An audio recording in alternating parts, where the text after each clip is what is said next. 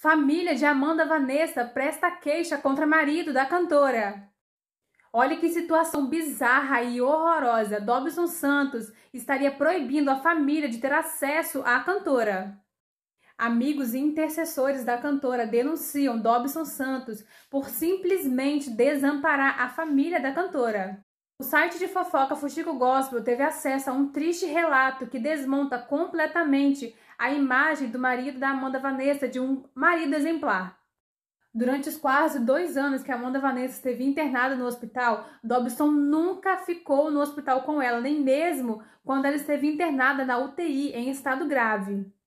Quem ficou no hospital com a Amanda Vanessa foram os seus pais, que não podiam ficar com ele, com ela acompanhando dentro da UTI porque não pode ter acompanhante lá. Então, por muitas das vezes, seus pais dormiam lá fora no hospital.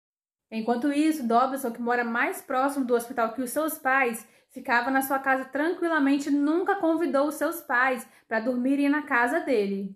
E o relacionamento de Dobson com os pais da cantora ficou ainda pior quando ela teve alta e teve que ir para casa. Aos poucos, ele foi dificultando o acesso dos próprios pais a ela. Até que na última semana ele deixou um comunicado de que não era mais necessário seus pais visitarem ela, já que tinha lá uma enfermeira para cuidar da Amanda. E foi por essa razão que familiares da cantora foram até a delegacia da mulher prestar queixa contra Dobson Santos.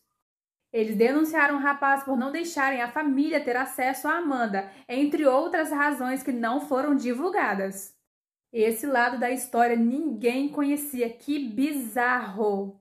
Muito triste para a cantora Amanda Vanessa. Com certeza, nesse momento, ela gostaria muito que os pais dela tivessem do lado dela.